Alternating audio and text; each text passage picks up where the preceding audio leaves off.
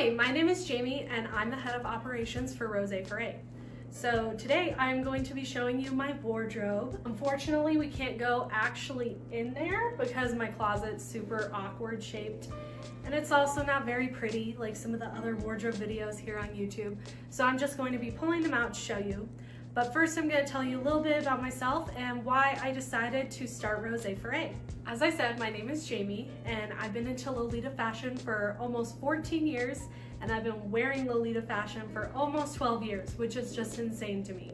I started out Lolita wanting to be super sugary sweet pastel and then I realized that kind of wasn't my vibe. So I'm trying to transition into more gothic, bittersweet or mature sweet vibe for my closet. So you'll see that pretty soon. Outside of Lolita, I have my degree in biology and creative writing. Besides that, I love to collect dolls, antiques, I collect bones, I'm super into astrology, and I absolutely love reading too. So that's just a little bit about me. The reason I wanted to start Rose Foret is because I've been going to Lolita conventions for years. I've been going to the biggest one in Denver since 2007 and it's always super fun, but I am not personally into anime. I go for the Japanese pop culture stuff, so sometimes I felt like there wasn't as much for me to do. So because of that, I always had an idea that we should have more Lolita programming in Denver, but I also realized as I've gotten older that I absolutely love event planning. So stay tuned for September 2022 we're going to have a three-day Lolita and J Fashion extravaganza. It's gonna be super awesome and I hope to see you all there. But that being said, let's get into my wardrobe. First, I'm going to start off by showing you my dresses because that's the best part. So I'll start off with the most iconic Jamie dress, which is Candy Sprinkle. This is one of the first AP pieces I bought. Um, Dream Marine was my first. And so I love this dress. It is so beautiful. I feel like it looks way better in person than it does on camera. Um, my favorite part about this dress is it has swans on it. I absolutely love that about this dress and I actually had no interest in it until my best friend Kim bought this dress and I saw it in person and I just absolutely had to have it. I originally bought it in lavender but one of the things that happened to me is I changed styles. I used to be a super sugary sweet, or want to be a super sugary sweet Lolita. Then I realized that I kind of prefer um, less pastel colors and more darker themes. Although I still really love sweet, I much prefer to have things in black colorways. I feel like it looks better on my skin. So yeah, that's why I sold my lavender candy sprinkle and bought the black one. My next dress is Pastel a la Mode, and this is my oldest dress. Um, I believe this is 2006 Angelic Pretty, which I can show you. The tag is super old.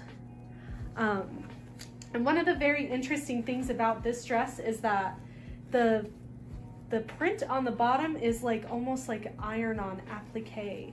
It's not part of the fabric, so it's really interesting. And I just loved the scalloped bottom.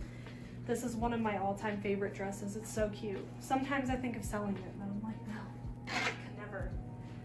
My next dress is one that I had been wanting since I was a wee baby Lolita. Probably around, I don't know, 2009 or 2010. I used to go on the lolitafashion.org forums and there was a Lolita on there who used to post daily outfits all the time, and this was one of the dresses she owned. And I absolutely loved all of her coordinates, and I remember looking at pictures and thinking that is one of the dresses that I'm going to own. So this is an Alice and the Pirates Sleeping Beauty dress. It is so gorgeous. It fits very well too. It's got shirring on the back. And then it's got little um, scenes from Sleeping Beauty, which actually is my favorite um, Disney movie too. My next dress is another one that has a lot of sentimental value to me, and that is Sugar Fairy Cake by Angelic Pretty. Um, the reason this dress has sentimental value to me is because when our anime convention used to bring Angelic Pretty to come and sell stuff. This dress had recently come out and I actually tried it on and I fell in love with it immediately. Uh, I can insert a picture here. And I wanted this dress more than anything, but I had no money at the time because I was pretty young. I think I was still in high school. And so there was no way for me to get this dress. So I tried it on and filed it back in my mind. And this year, actually, in February, before COVID hit, we had a swap meet and one of the Lolitas in our community was selling it. And obviously I had to pick it up because this is just one of my favorite dresses of all time. And it's also in the black colorway, which is my go-to. My next dress is one that I'm going to sell, unfortunately, because it doesn't fit me very well, and that is Chocolate Chess. Not only does it not fit me super well, but it doesn't go with a whole lot of stuff in my wardrobe, but I absolutely love this dress, don't get me wrong. It's absolutely beautiful. It's in perfect condition.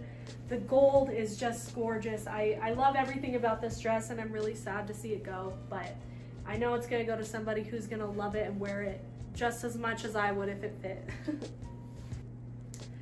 My next dress is called Beauty and the Rose Promise and it's by Alice and the Pirates. I also got this at a swap meet and the minute I saw it, I was like, I have to have that. It's so me. I love gray and I love black. So it's just perfect. And I'm also totally obsessed with pearls. So this dress is just absolutely adorable. I love it to death. And it's not one you see very often either. This one is Beauty and the Beast theme, so you can see the little rose on the bottom. And I love the chandeliers. It just makes it look very opulent and beautiful.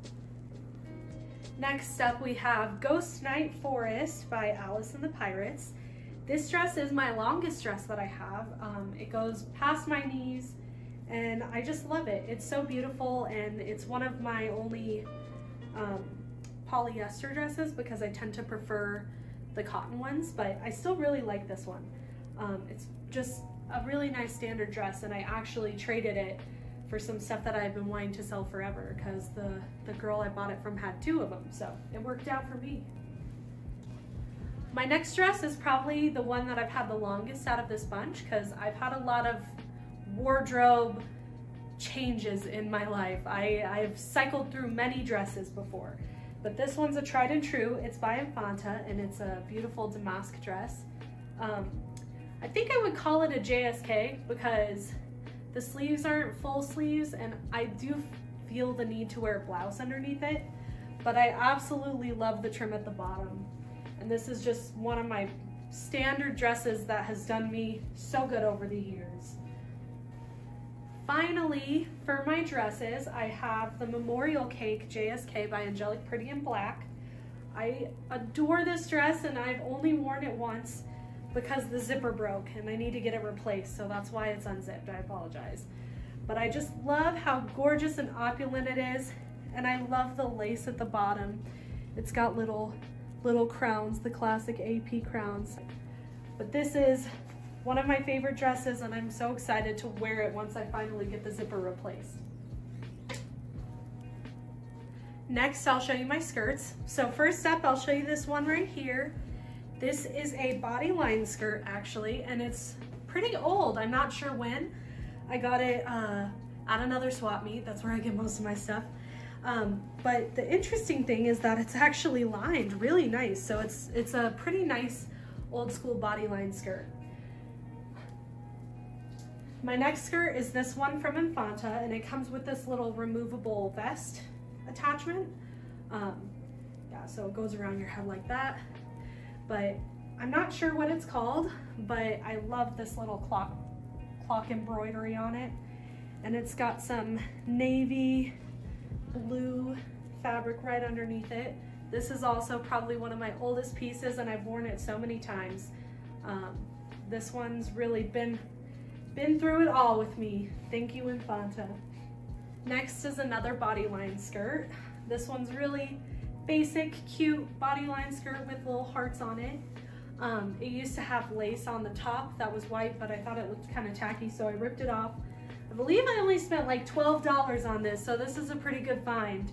Um, I want to wear it more because I don't I don't wear it very often. I've been not in as much of a skirt mindset lately, so hopefully I'll change that this year.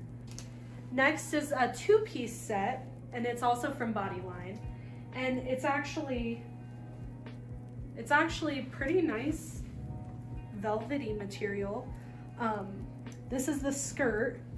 It's got elastic around the whole entire band, so that's pretty interesting, but it's, it's pretty cute standard skirt. But what really is cute about this set is the coat, and I wear this coat all the time. Um, I guess I would call it more of a jacket.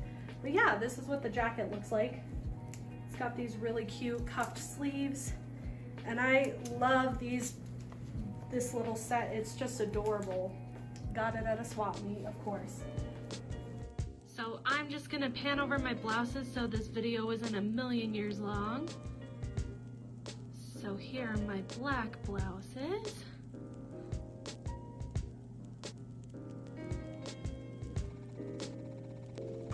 Here are my colored blouses.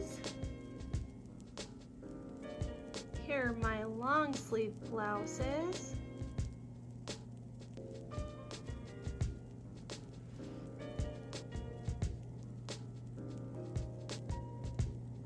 Here are my cardigans.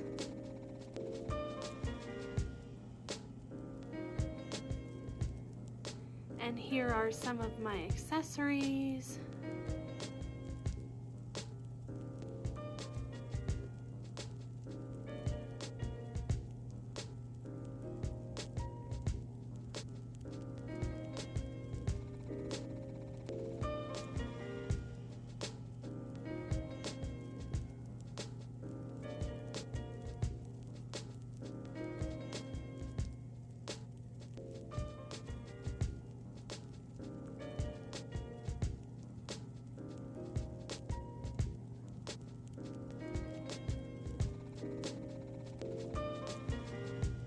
Here is some of my leg wear.